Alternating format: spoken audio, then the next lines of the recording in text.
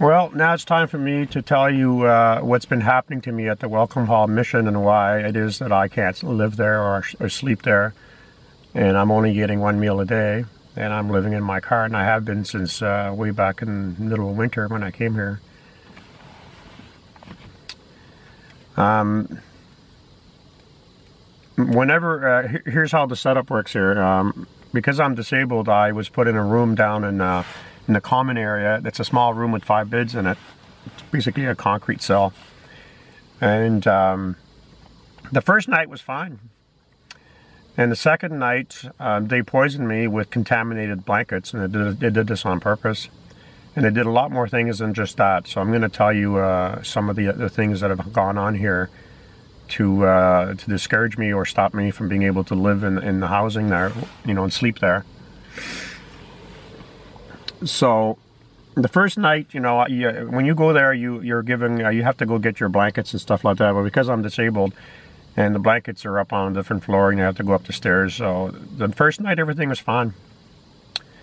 The second night, for some mysterious reason, they they uh, they said, "Oh, we have no sheets," and they gave me. Uh, this person comes walking in with pl plastic gloves on that cover their forearms, and uh, they're carrying five blankets, you know, far away from their body and they put them on my bed and they said this is all we've got.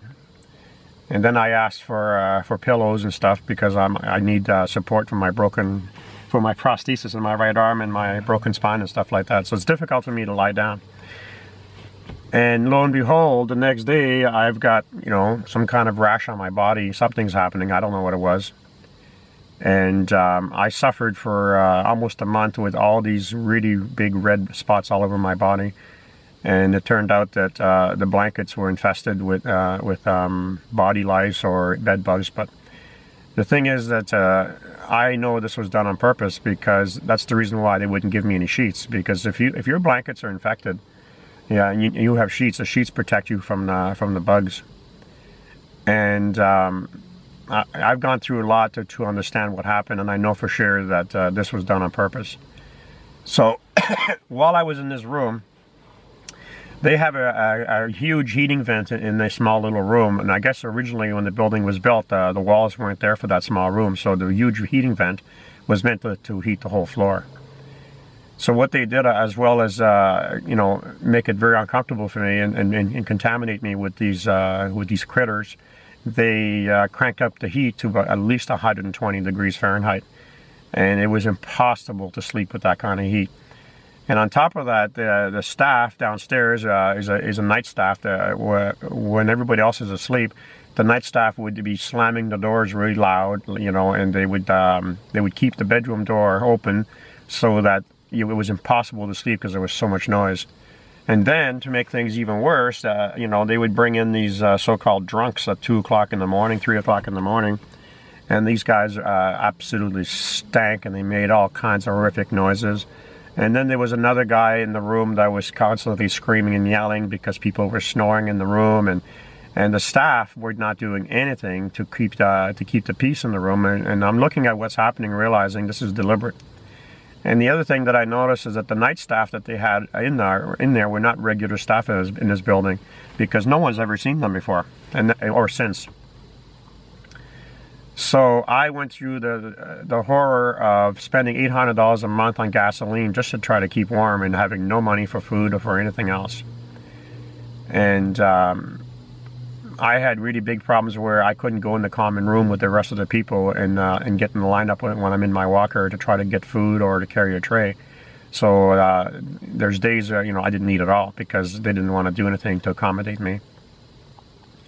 And it would take me hours and hours and hours to tell you all the, the crap that I went through at mission hall.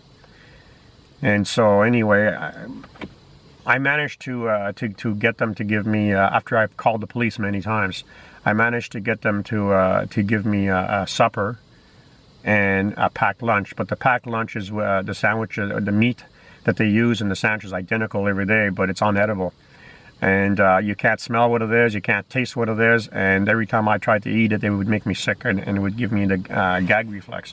So I didn't eat the sandwiches at all. You know, all I, all I got was some, I was lucky, uh, an orange or, or an apple. And um, So months and months went by, and uh, I was I was convinced now that the warmer season was here, and there's a lot less people living in the place at nighttime. Uh, the guy said to me, one of the one of the workers there was really nice about it. At around 10 o'clock at night, he uh, he made my bed with sheets and everything, and and I thought, okay, so maybe I'm going to have a good night's sleep for after so many months of living in my car.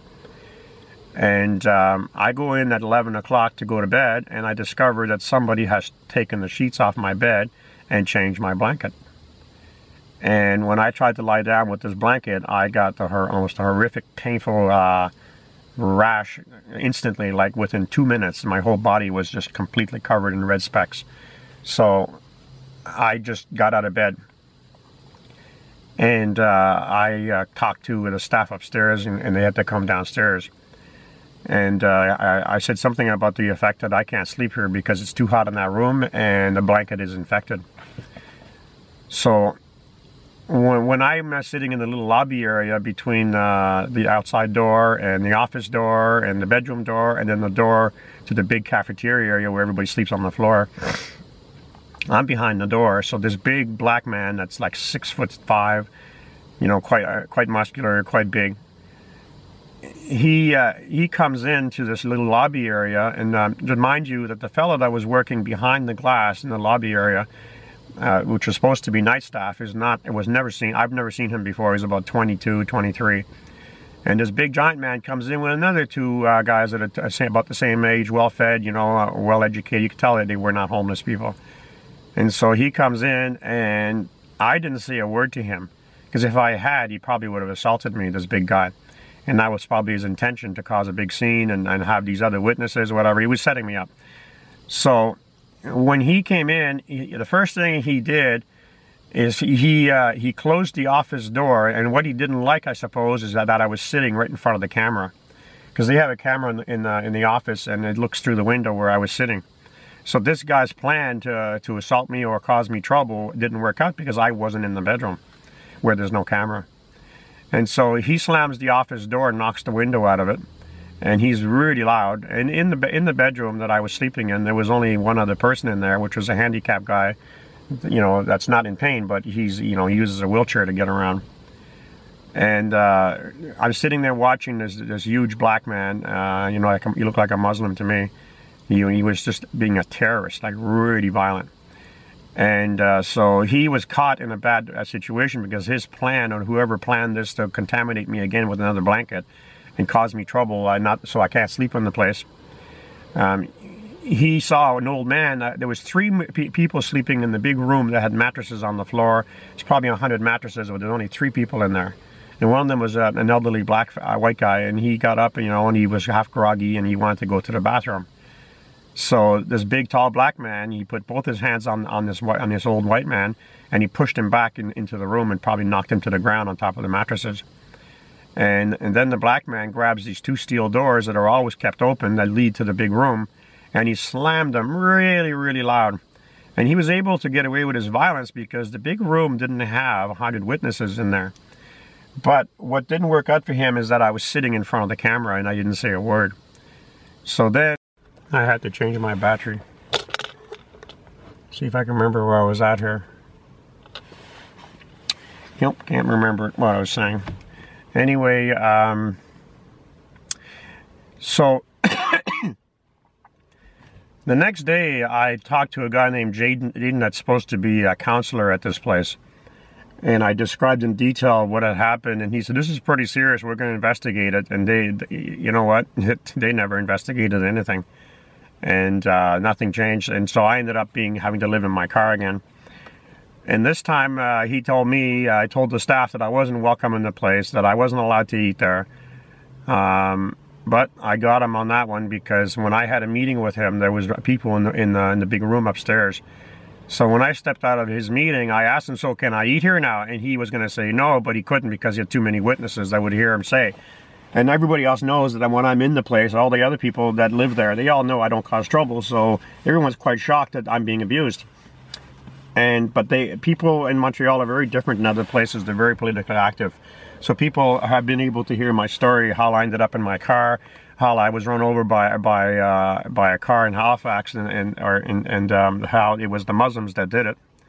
anyway, they know my history. They know people have seen my websites and they realize that uh, there's a good reason why I, I, am living in my car and where why I've lost most of my belongings and, and, and the terror against me hasn't ended.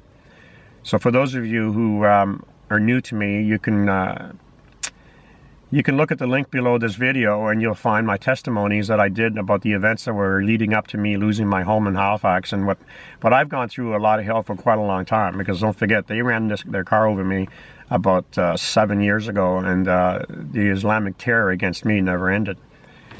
Nova Scotia has been completely taken over. Uh, the government is, is no longer a government. There's no law there. Everything's fake. There's no there's no justice system. There's nothing. And uh, what I'm going through and, and, and, what I'm seeing and what I'm reporting about, it's just beyond imagination. There's so much horror, horror going on in Canada. And so if you go to canadiansituations.wordpress.com, you can see uh, some of the reports, and there's quite a few of them about uh, the violence in Canada against uh, Canadians by these uh, Islamic uh, immigrants. And uh, anyway, keep look keep keep an eye on my, my folk photographer channel because I'll keep doing videos about what I'm seeing in in Montreal when it comes to to Muslim you know terrorism and, and violence. Um, so I'm uh, I'm not able to to get a, uh, two meals a day anymore. The mission hall is no longer giving me lunches, and the little bit of food that I get from them isn't enough for my health because I don't have a large intestine and when you don't have a large intestine, you can't store food. So I'm not eating well enough. I'm getting dizzy all the time. I barely have any strength to stay awake. So I guess, so I just sleep all day, and I, I sleep uh, on and off in my car constantly because I have no no strength to do anything because I'm not eating enough. Trying to go to the bathroom is a nightmare because when you're uh, when you have no large intestine, it really causes trouble uh, with going to the bathroom. And um, the mission hall is just beside me here and I'll show it to you in a second.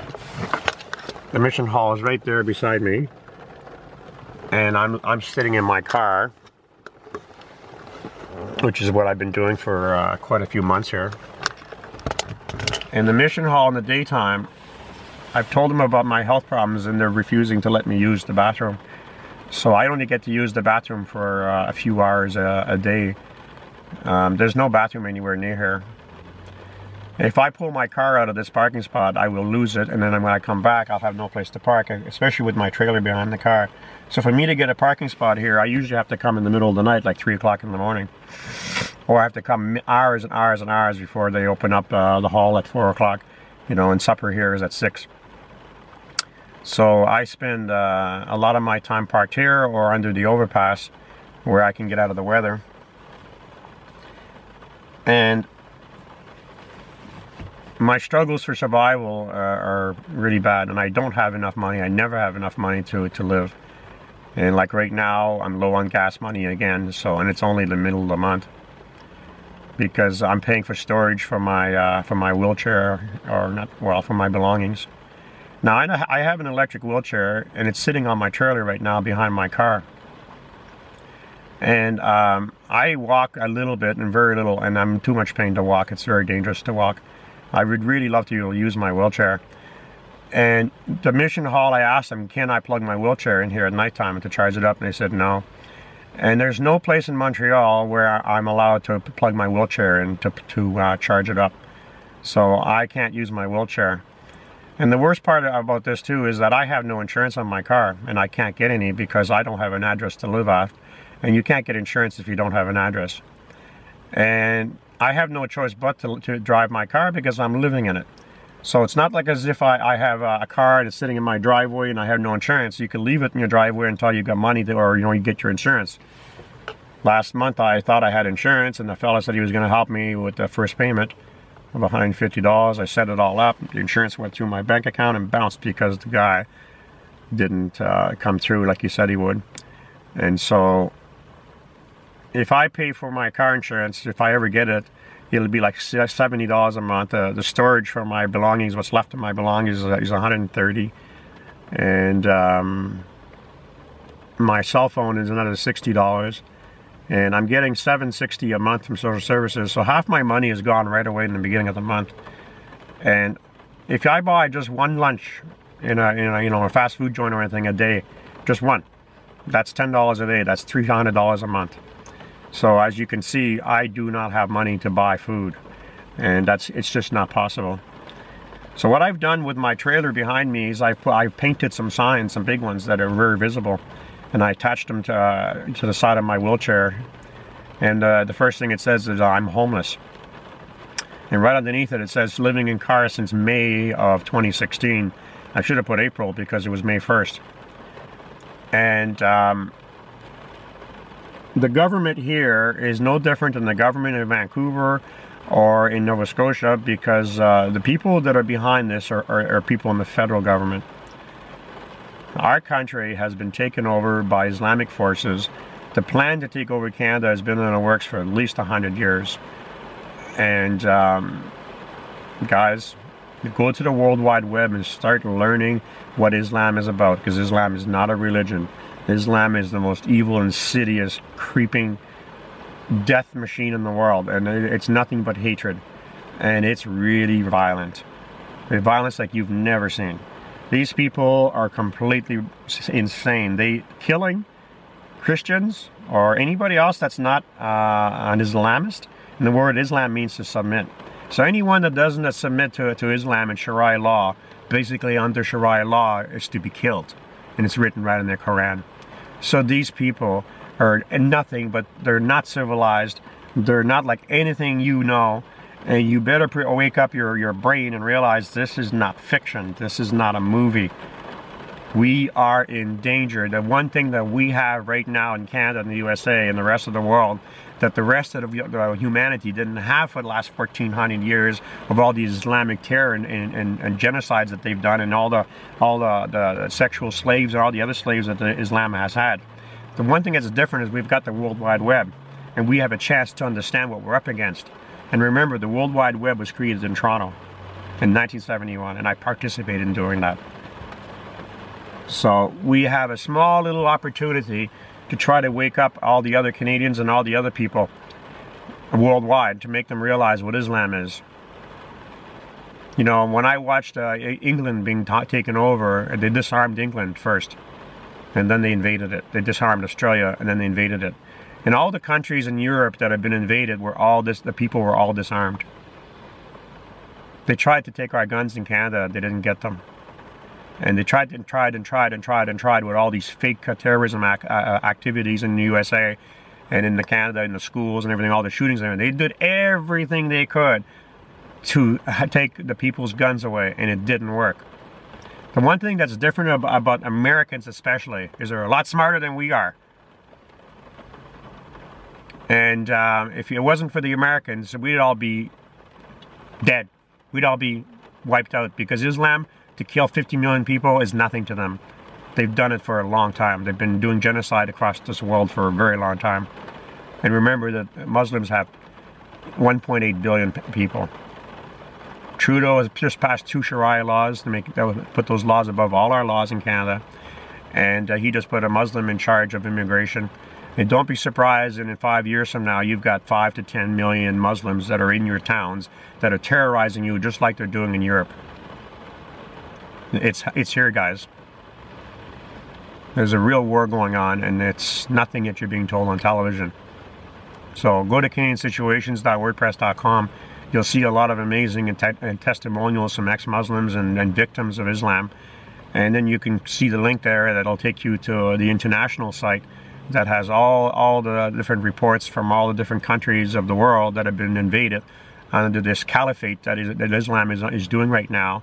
Islam is attacking all the prosperous, all the civilized countries of the world at the same time. And that's why, that's why Trump said in his inauguration speech that he's going to destroy radical Islam because everything about Islam is radical. So the people that live at this mission hall that know who I am have heard, have heard me speak like I'm doing right now. So they realize that I'm not some stupid idiot. I'm quite intelligent. And they realize that I really do know what I'm talking about. And I've told them myself, I'm, I'm, I'm on websites all over the world. And um, I'm not doing this for myself. I'm doing it because I know what's going on. And since I know, I figured I better share what I know with others to get them other people to wake up. All I can ask you to do is to wake up and to wake up everyone else. And if you see the PayPal uh, thing underneath here, please help me because um, without I have received a little bit of help from PayPal uh, donations in the last couple of months during during winter, and when it was really bad and I was out of fuel, some people came through and helped me. So I barely made it, and but that my problems are not going to end. I need money for my car insurance. I have to get insurance before the police seize my car. I did a video report already about the police, uh, you know, warning me that normally they're supposed to take my car. If they take my car, I will just die because I will not be able to walk anywhere. I can't travel on public transit because my disabilities prevent me from being able to stand up or to hold on to safely or do anything on buses. I have to use my wheelchair. But if they take my car, I'm going to lose everything I own. I'm going to lose my life. And uh, if the day comes when they say we're taking your car, that's the day I'm going to die. Because I'll just I'll, I'll just go into a high-speed chase. I'm not going to let somebody take my, my only possibility of surviving from me without drawing attention to myself. The signs that I have on my trailer are getting a lot of attention. People are reading them.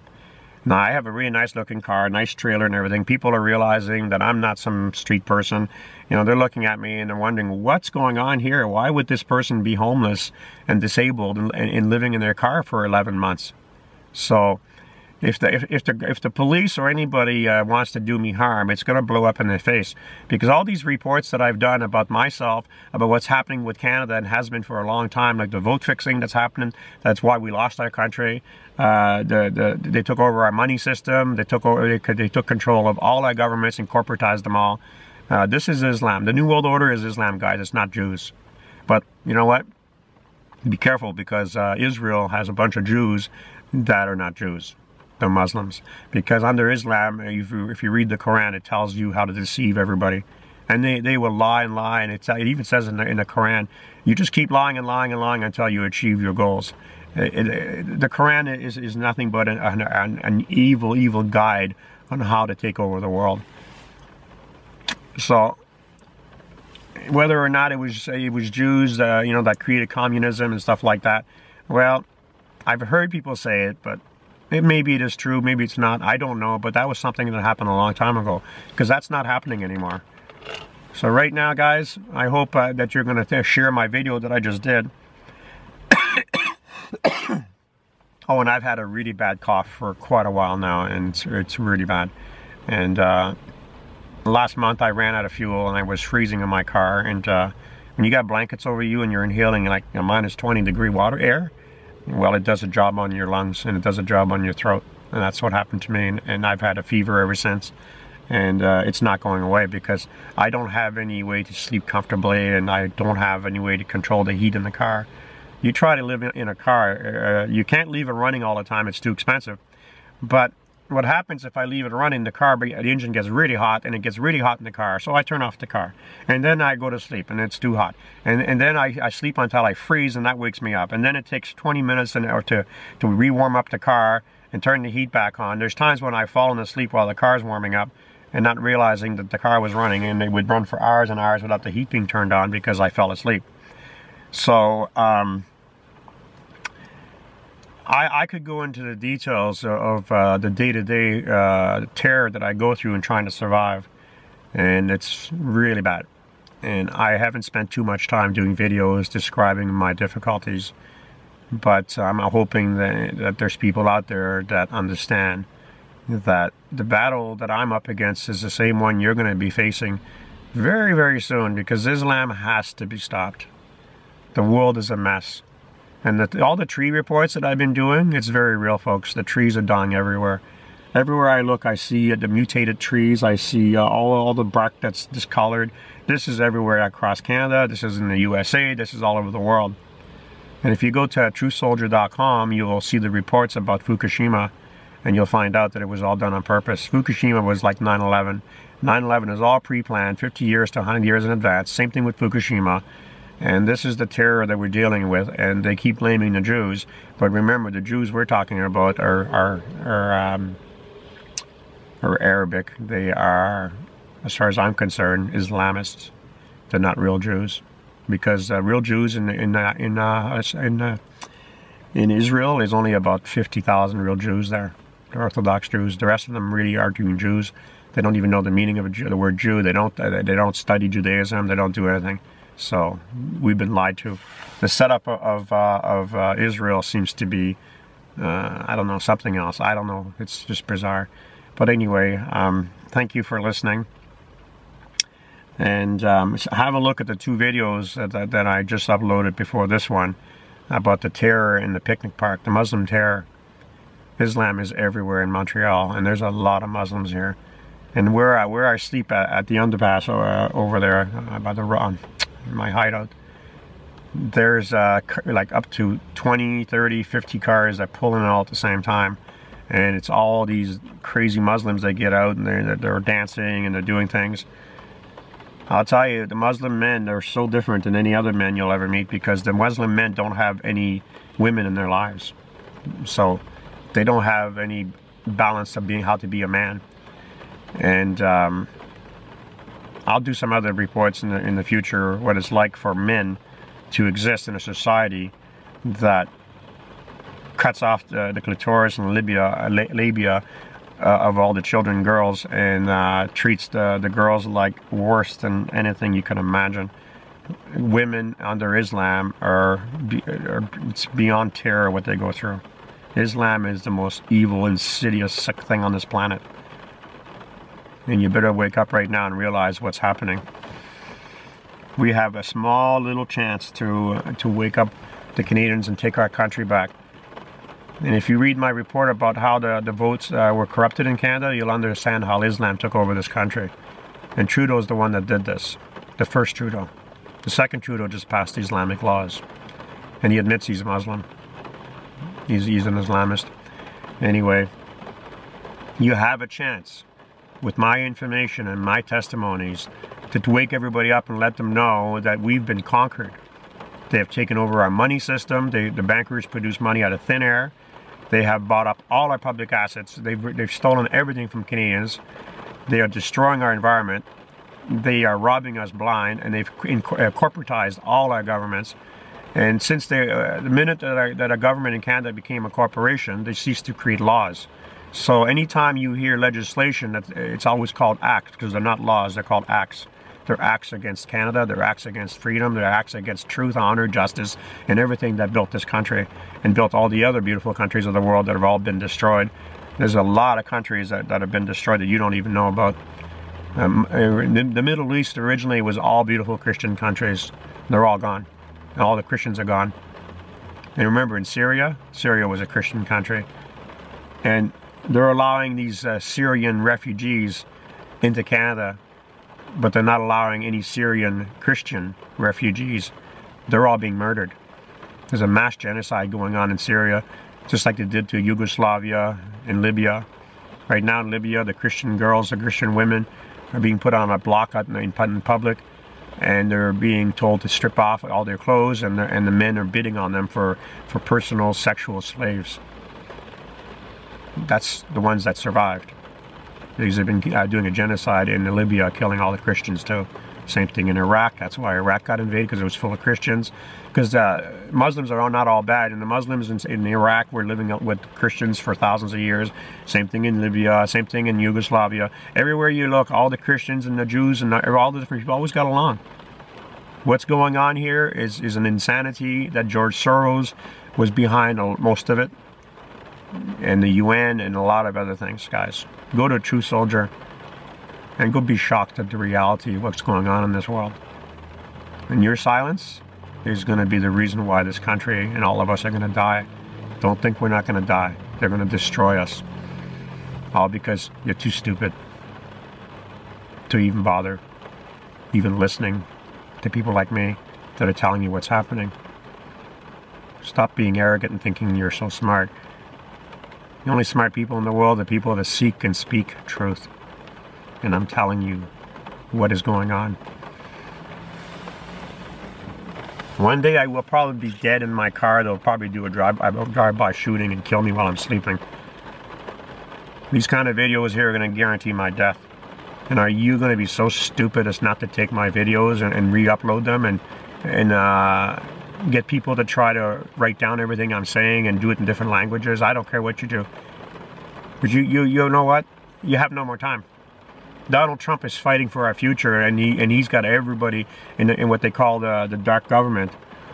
The dark government is, is the is all the people that work for all the government agencies that have been put in implanted into our our system, and they're all criminals, and they're all put in there by the criminals that are killing this planet. We've got some really major problems in this world. The planet is not going to survive this. This is not just about you dying. The planet is dying. The oceans are almost all dead. Fukushima is completely out of control. And remember, truth is absolute. And the further you go from truth, you arrive at the opposite absolute, which is insanity. And what we're dealing with right now eh, in this world is we've let the insane take over. All because you fear the insane. And the only reason you fear the insane is because you don't know God. And God is not religion. Jesus was not religious.